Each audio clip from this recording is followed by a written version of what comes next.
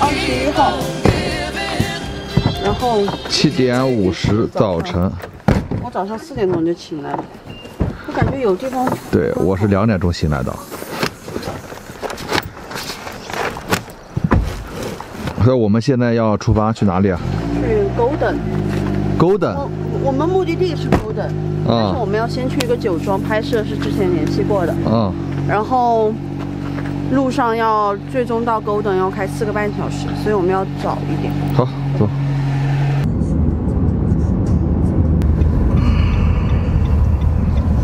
就这个是吧？嗯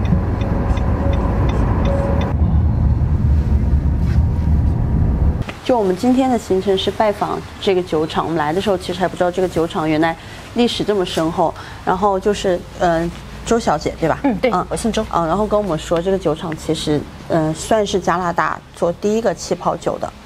对，是加拿大第一个做气泡酒的酒厂，而且的话呢，我们这个酒厂也是基本上在 BC 省是最大的一个有机的葡萄酒庄。哦，对它这个有机是因为它原材料在种植的时候是在种植的过程中，还有在这个葡萄酒制作过程中都没有加任何的化学成分。那那今天是有点不凑巧，说因为没有人在工作，是休假日。今天是维多利亚日，长周末。哦 对。但是就是还是您可以加个班，带我们下去看看，说那对，个我们可以走下去看一下生产线，然后我们可以去看看金字塔。然后我不知道你们对这个葡萄的这个葡萄栽种的那个会很感兴趣？我们可以去看一下。好好，嗯那现在就您带我们去吧。对，走进去可能会比较黑，因为还没有上班。现在那那平时的话，如果是呃有工人上班的话，会有多少人在这边呢？这边到了夏天的时候有一百多人，但是哦到了冬天的时候可能也就三三十个、二三十个。哦，是包括摘种呃，就是采摘的人也是整个酒厂的员工，哦，对，非常季节性。这个是我们卖酒的地方，这是我们一个酒店。为什么会这个季节差异造成就是人的这个差异这么大？哪一块的人会因为少 Kelowna 的话呢，它是一个非常季节性的一个小镇。嗯嗯，它夏天的时候呢，因为这个是水果之乡，有很多水果，像樱桃呀、嗯苹果呀、桃子、杏。然后我们就是到了冬天的时候，那基本上整个小镇就安静了，就没有任何人，外来人非常的多。基本上夏天的时候，人口可能就会加倍这样子。哦，那人口加倍的话，就是这边的人手，就是可能包括就是卖酒的呀，或者什么这一方面的人都会增加。很多从阿尔伯塔、温哥华过来度假，然后顺便也打工什么的。哦对。但是就是也确实是有这样的需求，然后就会提供这样的暂时没错，夏天的话非常忙，因为其实整个酒厂一年十二个月下来的话，我们也就是靠大概三四个月来赚钱。嗯基本上五月底开始，六月、七月、八月、九月，然后十月份基本上就已经安静下来了。哦，六七八九，也就是说进入到那个要夏天的时候这段时间，是大家喝的多是吧？呃，倒不是这样，到气候跟气候很有关系，对嗯，气候很好，然后加上樱桃的成熟，然后很多人来摘樱桃。哦然后很多人就是呃去这个湖边，那我们的 Okanagan Lake 非常大嘛，很多人来这边是呃去湖边喜欢游泳呀，就是在沙滩上面晒太阳什么的。嗯，那那就是说，像这个您说的这个季节，还跟其他的那种葡萄酒厂不大一样，因为是包括这个地方它是有这个景区的优势，然后樱桃啊这样一起，所以带动了这个酒的销售。Okanagan 这个地方的话是加拿大的果园之乡，就是整个加拿大吃到的苹果都是我们这个地方栽种的。我看那个那个湖边是不是还有一个那个苹果的那个对你去到哪里，其实都可以看到苹果、梨，啊然后桃子，这就是水果之乡没错，对，哦非常有代表性。那这个地方的话呢，就是我们生产酒的车间了。那这边这个机器的话呢，就是平时我们用来呃装，就是贴商标。然后还有哦装瓶的这个一个机器，的最后的对，平时的话，因为有人在的话，就可以去，就会有你就会看到瓶子一瓶一瓶的走过去，然后装了瓶以后装酒进去，就会打上木塞，然后就会贴上商标，然后就会走到那一边，走到那边以后，哦就会由我们人工再拿下来，一瓶一瓶的装箱。那这个里面还有灯吗？这个里面的灯的话，我还因为不知道在哪里开，因为这个光线可能会有点暗。Yeah, just in case I can turn everything off.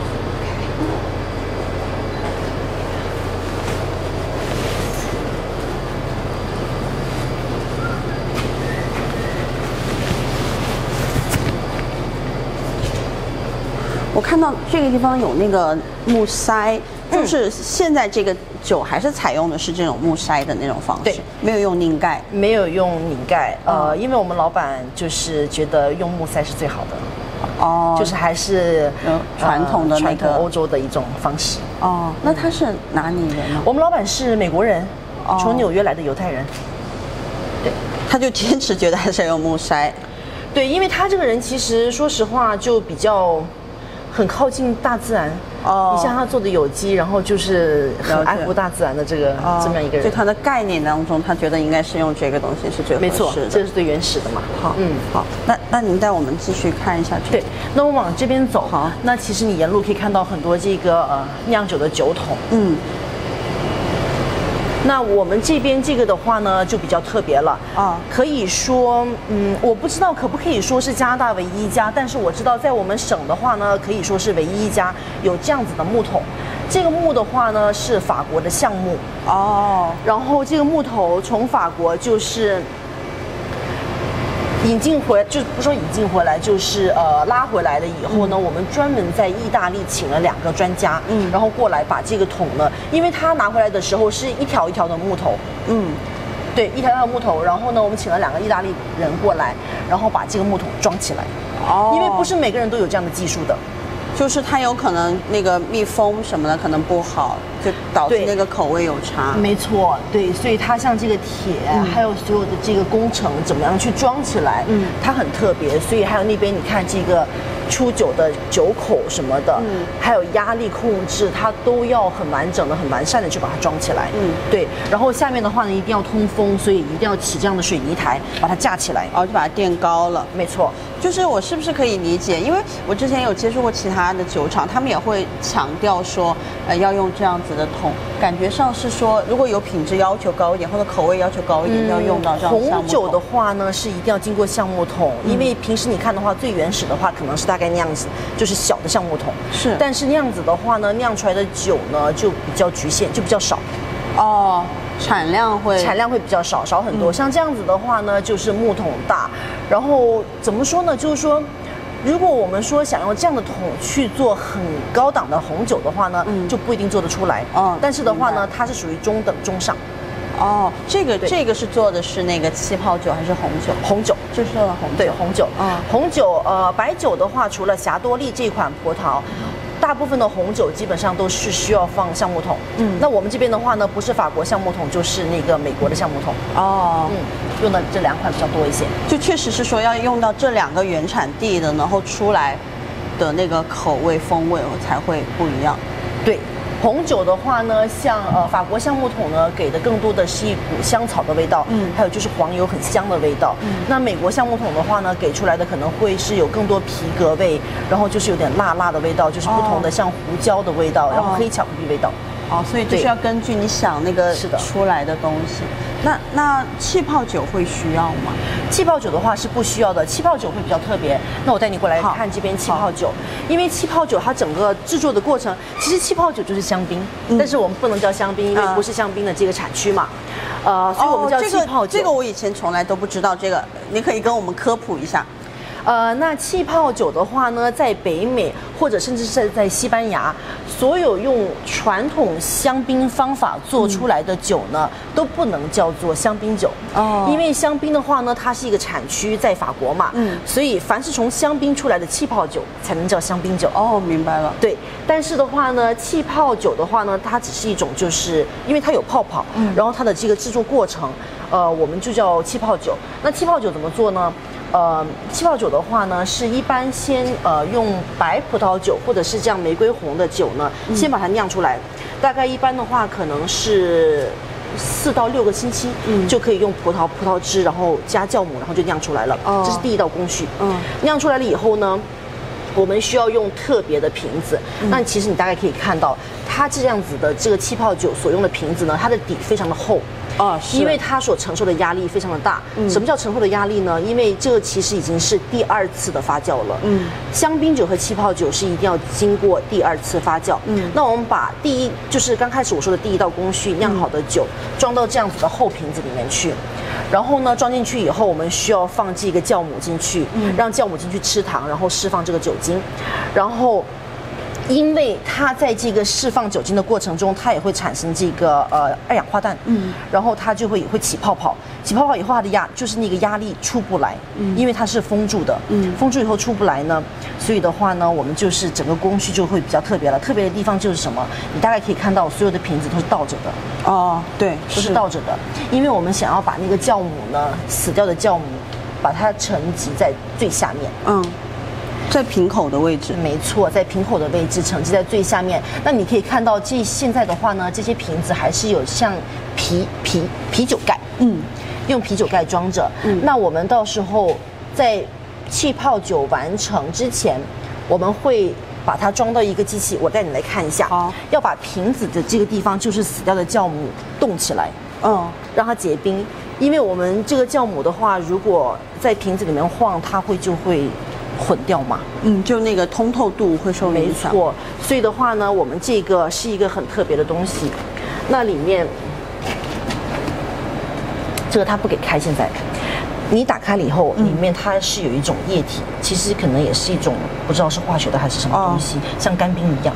然后你把它放进去，大概十分钟，十分钟以后呢，它瓶子大概这么一块地方就会结成一个小冰坨。哦，然后结成小冰坨以后，它拿出来，拿出来以后放在这个地方，然后它这个机器呢，就会把那个盖子把它撬开，撬开那个压力的话呢，就会冲出来。哦那个压力非常的大，基本上是汽车的轮胎的压力这么大。哦，真的啊，对，很大。所以的话。就是，所以为什么人家说你在开香槟酒的时候，千万不要用酒瓶这样对着人的脸，是因为它之后冲出来之后，对，虽然它的压力在就是我们呃成品的时候已经出来了一部分，嗯，但是的话呢，其实里面还是有压力。那像我们刚才说的，把这个死掉的酵母打出来了以后呢，我们就会来到这一边，嗯，然后它这个机器的话呢，我们会放一个就是特殊的一种混合酒，一般的话是由我们的酿酒师来选择，嗯然后它跟这个我们的这个香槟里面的香槟酒是有点又不一样，嗯，那因为那个里面的香槟酒的话呢，非常的干，嗯，所以它需要加点比较甜的酒进去，就是适合在北美、北美洲的这个人的口味。哦，它它就会就是会调和一下那个口味。没错，因为在法国的话呢，法国人就喜欢非常非常口味非常干的香槟酒，嗯但是在北美的话呢，人的口味可能相对来说会喜欢偏甜一点的，嗯，所以也不是说很甜，但是我们会放一点点进去，把它中和一下。明白那这个呃。就是叫做秘密的武器吧，可以说是我们酿酒师秘密武器嗯，然后就会打进去，因为当时你的压力喷出来的时候，不仅把你的那个干冰块喷出来，就是死掉的酵母喷出来，还会喷出来一部分的酒。然后就把它混合进去。，对，所以有的时候你可以再注意一下，在香槟有机就是香就是有机会去法国香槟的时候，你买这个香槟酒，嗯它其实有一些香槟酒的话呢，它不是满瓶的，嗯，因为它不会加任何东西进去。哦，它就是这个压力冲出来的时候有多少没有了，它就没有瓶子你就装剩下的。没错，所以呢，其实你在买香槟的时候，我不知道你们之前以前有没有喝过香槟酒，嗯它会有一个那个锡箔纸包在瓶口的地方。最原始的时候，这个锡箔纸的话呢，就是为了遮挡所。就是没有的酒，他不想让你感觉就是你买的时候是是半瓶，他想希望你是买的是一瓶，但实际上你把这个锡箔纸一拉开的话，其实你买到的只是大半瓶的酒。哦，难怪。对，最原始的时候，香槟酒上面的锡箔纸是这个用处。我之前还想说这个东西到底是什么用，我还以为说这个是比较偏向好像女性去吃，所以有装饰这种亮亮的感觉。不是的，最原始的时候，很多人其实都不知道它是用来挡，就是已经没有的那一部分。没。错，没错。啊，这个挺有意思的。那就我们兑进去了以后的话呢，就会拿到这边来。拿到这边的话呢，这个机器呢就会把瓶子放在这里，嗯嗯，然后就是这边是打木塞，哦，对，因为香槟酒的木塞它不一样，它非常的大，非常的大。它就是这样比较长的嗯，它也不是说比较长，它的话呢比较粗。嗯嗯，因为你打进去的话呢，等一下我们上去开一瓶香槟酒，我们大概就可以大概给你告告诉你是什么、什么样的木塞了。嗯嗯，然后打完木塞以后呢，来到这边，它会放一个这样子的呃小铁小铁架，你可以看到。哦，对对因为打进去，因为这个木塞打进去以后的话呢，这个酒，它这个因为里面有气泡嘛，所以它还是有很大的压力在里面，所以它需要用这样子的一个小铁架，把它就是安全的把这个木塞保持在原位。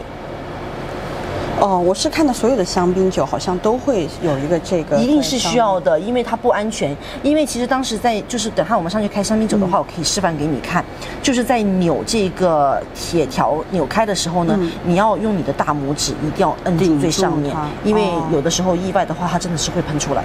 哦，对。那装完这个呃铁架了以后，它就会放在这个地方，然后这个酒呢就会到这边来贴这个商标，哦，这个也是贴上这是标的贴商标的，嗯。对，整个流程走过来就是在贴商标了。然后这个的话呢，就是它一压下来，就是把锡箔纸压上去。那它整个的说一次发酵、二次发酵到做完，它的那个周期大概是需要多长时间？香槟酒的话呢，最呃最短也要就是在瓶子里面发酵十二个月。十二个月，哎，就是要一年的时间间才行。没错哦那一瓶香槟酒其实这个过程还蛮漫长的。是这样子的嗯是这样子的是个时间的 那种累积。对，所以香槟的话都比较贵嘛，其哦实也是因为它的生产周期非常的长。哦，难怪了，就感觉好像会比葡萄酒贵一倍或者两倍一样。嗯，其实红酒的话，就是很高档的红酒，很贵的红酒，一般它的就是酿造的周期也比较长，因为它在木桶里面待的时间比较久。因为像我们的红酒的话，基本最少的话，在木桶待的时间肯定要十八个月以上。哦那有的时候会是二十四个月，嗯或者甚至是三十六个月。哦，就是因为它比较高档的，它可能就要在橡木桶的时间久。没错，因为像我们酿酒师酿的一些红酒，有的时候它会先在这个美国的橡木桶里面待一段时间，嗯，然后的话呢，他会把这个酒再腾到法国的橡木桶里面去，哦去再混合那个口味和香没错，再待一段时间，对。那它香槟酒的原料其实也都还是以葡萄的那个为基础的。都是葡萄，但是香槟酒所需要用到的葡萄的话呢，又有一些不一样。香槟酒用到的葡萄呢，需要更早一点摘，哦，就熟度不能那么熟，不能这么。熟。对，哦，那它那它的口感就是会没有那么甜吗？没错，所以它就很干嘛。哦所以像北美的话，我们就会加加这个酒精去，对，让它甜一点。但是在法国，像我刚才告诉你的，他们喜欢比较干的对，口味比较哦干的。嗯，这这些是这些都是配件，都是哦一些就是可能器材配件。就是会要替换到的。嗯。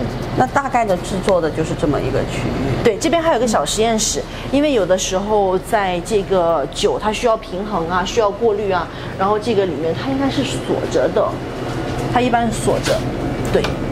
它里面是个小实验室，哦这些里面冰箱的话有放有酵母，像这个的话呢就是酿酒的酵母，哦它需要冰着，这些可能是实验，就是用到的那些不同的那个味道对的。，因为有的时候他们会混合这个酒跟那个酒混在一起，嗯我我之前看过那个有一些介绍是说，它这个瓶子不同的形状的容器，它是有讲究的。没错，瓶子的话呢，其实像这个叫做 Burgundy，、就是其实也是根据法国的这个区域来定的，因为你知道，在像黑皮诺、皮诺诺啊，还有就是 Chardonnay，它都是 Burgundy 出来的，所以用到的都是这样的瓶子。哦。那这个的话呢，就是叫做 Bordeaux。